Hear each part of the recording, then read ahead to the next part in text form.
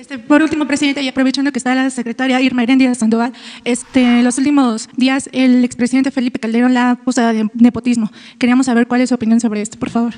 ¿A quién? A la secretaria Irma Heréndira Sandoval, el expresidente Felipe Calderón a través de Twitter la ha estado acusando este, los últimos días de nepotismo. Estoy eh, recomendando de manera respetuosa que no haya influyentismo, ni amiguismo, ni nepotismo, ninguna de esas lacras de la política. De modo que nosotros tenemos que dar un buen ejemplo. Entonces, no se debe de permitir, aceptar que haya familiares en el gobierno. Eh, los gobiernos no son el DIF, no es el gobierno de la familia.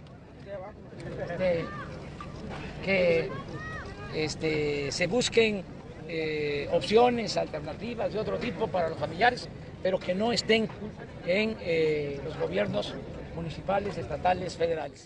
Bueno, no sé si quieras contestar. No, no tiene caso. No.